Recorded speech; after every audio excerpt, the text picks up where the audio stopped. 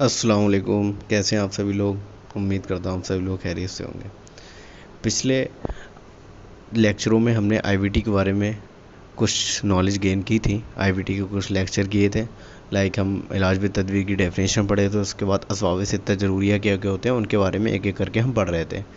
तो पहला असबाब सित्ता ज़रूरिया में जो आता है हवा, हम उसके बारे में पढ़ चुके थे, उसके अज्जा क्या है, कैफियत के अतबार से कितनी टाइप्स की हवा होती हैं, कौन सी डायरेक्शन से कौन सी हवाएँ चलती हैं।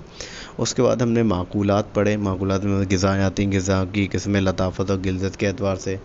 फिर कलील तगज़िया कशीर तगज़िया पढ़ी, उसके बाद रद्दीलकैमूज़ ज़ैदुलकैमूज़ गज़ाएँ कौन सी होती हैं। फिर उसके बाद हमने पढ़ा माकूलात के बाद मशरूबात मशरूबात में पानी जो आता है ठीक है, पानी के बारे में पढ़ चुके हैं। पानी कितनी किस्मों का होता है, उसके टाइप्स क्या है, कौन सा सबसे अफजल पानी माना जाता है।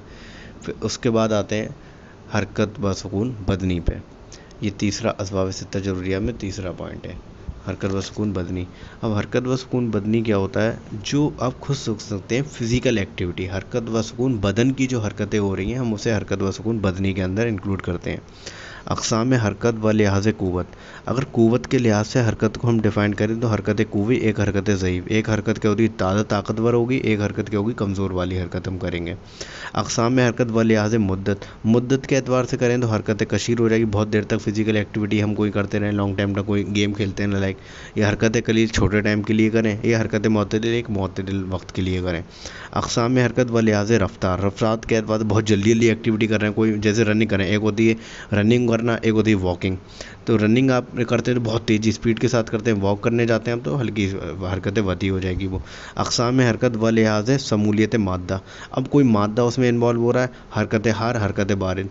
ऐसी हरकत कर रहे हैं जिसमें टेम्परेचर आपका गेन हो रहा है, ऐसी हरकत कर रहे हैं जिसमें टेम्परेचर आपका कम हो रहा है. सदीद, शरी और कलील हरकत बदन तहलील से ज़्यादा तश्किन पैदा करती है. अगर कोई ऐसी हरकत है जो शदीद है और शरीर बहुत तेज तेज कर रहे हैं और कलील हरकत, लेकिन कम समय के लिए कर रहे हैं। बहुत तेज तेज आपने करी, लेकिन कम समय के लिए करी। तो वो क्या करती है? तहलील से ज़्यादा सकूनत पैदा करती है, खुशकी पैदा करती है ज़्यादा।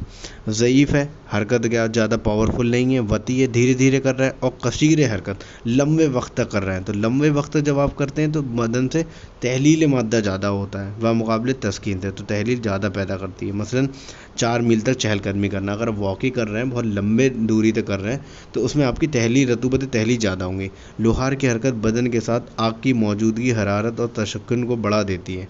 लोहार की हरकत क्या होती है?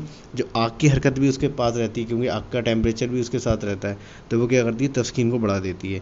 धोबी की हरकतें बदन के साथ पानी की मौजूदगी, तहलील और तस्किन को कम कर देती है। क्योंकि रतूबत क्या है नम बना देता है इन्वायरमेंट जो मसामात जल्द होते हैं, उनको एक टाइप से बंद कर देता है। तो उससे क्या होती है? तहलील भी कम होती है रतूबत और तस्किन भी, खसूनत भी कम पैदा होती है।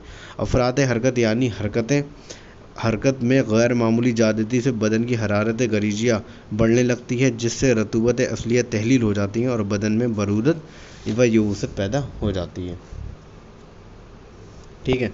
सुकून हमेशा हर सूरत में बदन के लिए मुवर्रद यानी ठंडी पैदा करने वाला होता है और मुरतब यानी रतूबत पैदा करने वाला था। खुद सोचिए, जब आप सुकून से हैं, आपकी बॉडी कोई वर्कआउट नहीं कर रही है, कोई एक्टिविटी नहीं कर रही है तो आप जैसे आप ज़्यादा वर्क करते हैं तो आपका पसीना आता है, क्योंकि मसामात जिल्द के होते हैं, खुल जाते हैं पोर्स उनके ओपन हो जाते हैं।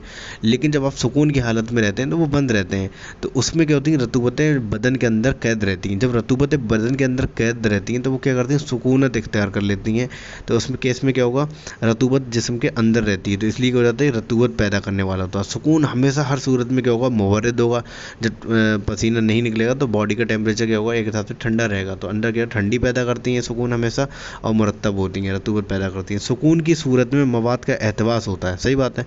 सुकून जब होगा तो उसमें मवाद क्या होगा? बॉडी के अंदर रुकेंगे रिटेंशन करें रिटेंशन होगा उनका, जिससे बदनी हरारत घट जाती है। ज़ाहिर सी बात है। सुकून की सूरत में बदन के फजलात व रतूबात का तहलील व इस्तफराग नहीं होता है। ज़ाहिर सी बात है, मसामात जल्द इतना ओपन होते नहीं हैं तो उसकी वजह से क्या होता है? जो फजलात होते हैं, वो तहलील नहीं हो पाते अब इसके बाद हम पढ़ते हैं, तीसरा सबब कंप्लीट होता है फ़िज़िकल एक्टिविटी इसके बाद आते हैं न्यूरोलॉजिकल एक्टिविटी हरकत व सुकून नफसानी। नफसानी से रिलेटेड क्या देखो हरकत व सुकून नफसानी दरअसल क़ुव्वत नफसानिया से सादिर होती है, ठीक है? जिसम में कितनी क़ुव्वतें पाई जाती हैं? जिसम में मेनली तीन कुवतें पाई जाती हैं क़ुव्वत नफसानिया क़ुव्वत हैवानिया क़ुव्वत तवैया। और क़ुव्वत तनासलिया जो है वो क़ुव्वत तवैया का ही एक किस्म है। तो हरकत सुकून नफसानिया जो होती हैं क़ुव्वत नफसानिया की सादिर होती हैं। हरकत नफसानी में खून और रूह ज़ाहिर बदन या बातिन बदन की तरफ़ मायल होते हैं। हरकत नफसानी में क्या होगा? जो खून होगा, या तो पेरीफेरी की तरफ़ जाएगा या अंदर की तरफ़ जाएगा, बातिन की तरफ़। हरकत नफसानी की पाँच सूरतें हो सकती हैं। जैसे आप ज़ाहिर बदन की तरफ़ अचानक नफसानी हरकत, जैसे गुस्सा। अगर आपको गुस्सा आता है तो गुस्से में क्या होते हैं? आपको एक्टिविटी करनी रहती है ना। किसी बंदे के सामने आपको लड़ाई होगी तो आपको गुस्सा आएगा। तो गुस्से में क्या होगा?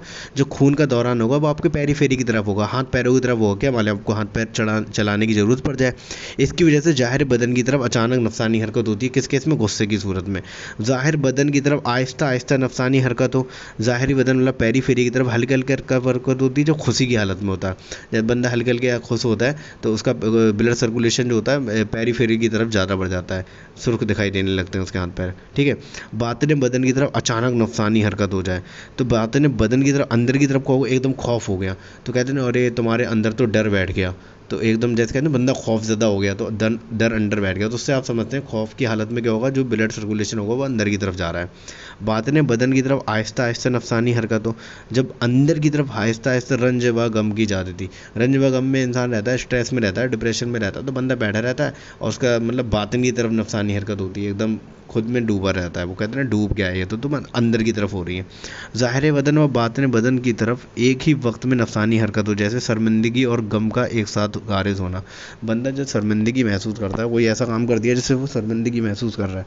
तो जो नफसानी हरकत होगी, दोनों तरफ़ होती है। बातनी तरफ़ भी होती है और ज़ाहरी तरफ़ भी होती है। ओके, तमाम हरकत नफसानिया में रूह और खून जिस तरफ़ हरकत करते हैं, उस तरफ़ हरारत बढ़ जाती है। और जिस तरफ़ से हरकत करते हैं, उस तरफ़ बरूदत बढ़ जाती है। सही बात है, जिस तरफ़ ब्लड सर्कुलेशन जाएगा, उस तरफ़ हरकत बढ़ जाएगी। और जिस तरफ़ से होगा, उस तरफ़ बरूदत बढ़ जाएगी। ठीक है? हरकत ब बरूदत का ये दौर गैर मतदल होता है। सही है? खुशी की ज़्यादती से मौत हो सकती है, जैसे सादी मिर्गी कहते हैं, सादी मुर्ग कहते हैं। ठीक है? और खौफ व गम की ज़्यादती से मौत हो जाएगी तो कहेंगे सदमा कहेंगे सदमा लग गया। खौफ व गम की ज़्यादती से भी मौत हो सकती है, जिसे कहते हैं सदमा मुर्ग कहा जाता है। सुकून नफसानी की ज़्यादती हमेशा मुवर्रद होती है। सुकून नफसानी की ज़्यादती देखो, हरकतें सुकून की भी कहती है। जब बंदा सुकून की हालत में रहता है तो भी क्या रहती है? उसकी मुवर्रद वाली कंडीशन पैदा हो जाती है मतलब बरूदत पैदा होती है, रतूबत होती है, ठीक है? और सुकून नफसानी की ज़्यादती क्या होगी? हमेशा मुवर्रद यानी ठंडी पैदा करने वाली और मुवलद यानी बिलादत पैदा करने वाली होती है। सुकून नफसानी के लोग बारिदुल मिजाज होते हैं। हैं। जो सुकून नफसानी के मिजाज के लोग होते हैं, वो क्या होंगे? हमेशा उनका मिजाज क्या होगा? वो बारिद होगा। उसमें ज़्यादा एक्टिव नहीं रहेंगे। तो हमने आज क्या पढ़े? दो, इस लेक्चर में हमने दो असवाब सिता ज़रूरिया के बारे में पढ़ा। हरकत व सुकून बदनी और हरकत व सुकून नफसानी। मतलब एक तो हमने पढ़ा फ़िज़िकल एक्टिविटीज़ और एक हमने पढ़ा न्यूरोलॉजिकल या नफसानी एक्टिविटीज़ जो होती हैं। ठीक है नफसानी हरकत जो होती हैं। तो हरकत, सुकून, बदनी में फ़िज़िकल एक्टिविटी टाइम के एतबार से पढ़ी क़ुवत के एतबार से पढ़ी यही पढ़ा और सुकून नफसानी में क्या है, इसमें मेनली पड़ा हमने सर्कुलेशन जो रतूबत है नफसानी हरकत है, वो कहाँ हो रही है? बाहर की तरफ़ हो रही है, अंदर की तरफ़ हो रही है। इसी के बारे में हमने पढ़ा। ठीक है तो आज इतना ही पढ़ते हैं। मिलते हैं नेक्स्ट लेक्चर में। दो असबाब अपने और बच रहे हैं, उन्हें इंशाल्लाह नेक्स्ट लेक्चर में कंप्लीट किया जाएगा। Okay thank you so much